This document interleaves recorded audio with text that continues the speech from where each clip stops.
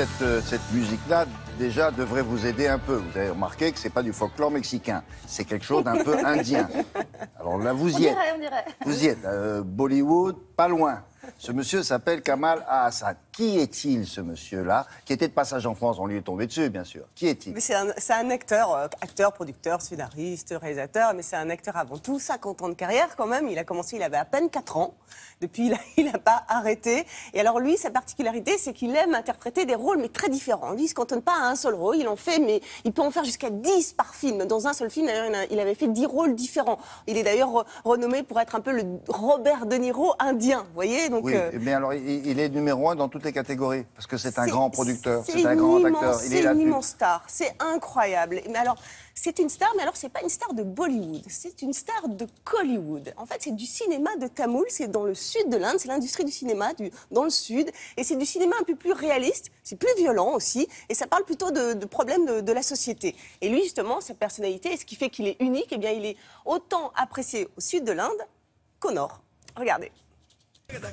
Il est l'une des immenses stars du cinéma indien et l'un des acteurs les plus récompensés. Avec près de 200 films tournés dans 5 dialectes différents, son nom, Kamal Hassan.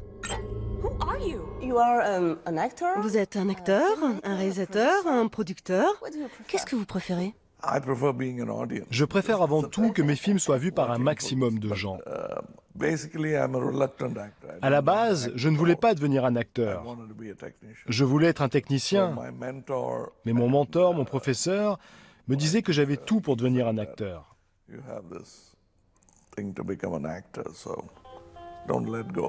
Alors vas-y, essaye, tu vas y arriver.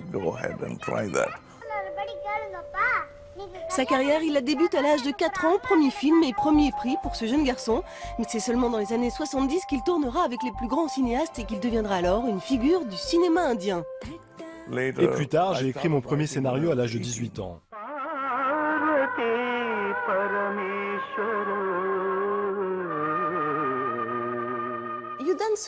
Vous êtes vraiment très bon dans les danses traditionnelles. Mais vous ne jouez pas dans les films Bollywood. Pourquoi? no. I have done, uh, J'ai joué dans beaucoup de films de ce genre et qui ont eu beaucoup de succès. Mais j'ai arrêté de danser parce que je m'ennuyais. J'avais envie de jouer des personnages plus intéressants. En fait, je ne voulais pas devenir le Kelly indien. Gene Kelly of.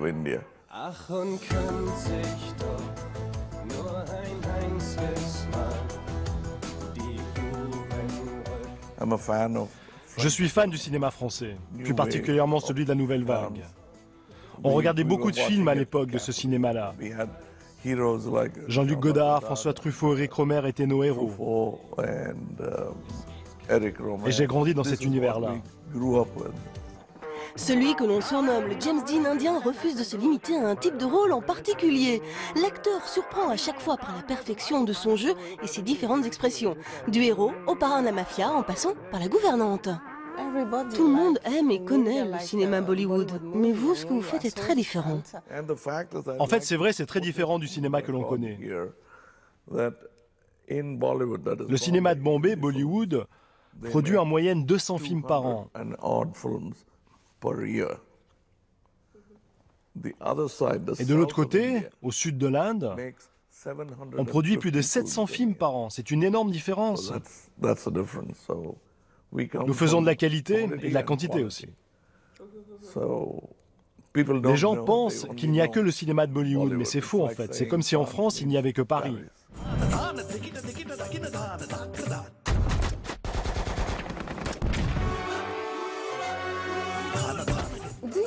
Est-ce que vous avez un rêve? Un rêve fou? Crazy dream. Every day, I- Oui, tous les jours. Je rêve de faire un film dans un langage universel qui soit compris par tout le monde.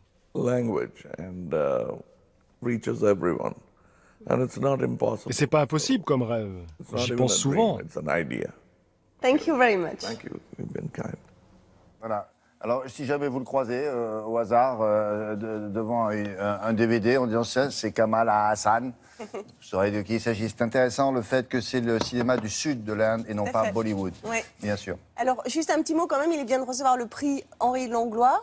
Euh, lors de, de la Ah oui. dixième rencontre internationale du cinéma euh, du patrimoine. Donc c'est en ce moment, ça commence aujourd'hui, c'est jusqu'au 4 avril. Il y a vraiment une programmation très très intéressante. C'est dans le 16e arrondissement de Paris. Et toutes les informations sur le site de Télématin, bien sûr. Voilà. Voilà, ça a commencé hier. Merci beaucoup. Allez, Télématin, ça continue et tout de suite, on passe à la météo. Alors, vous allez voir des différences de température juste pour vous surprendre.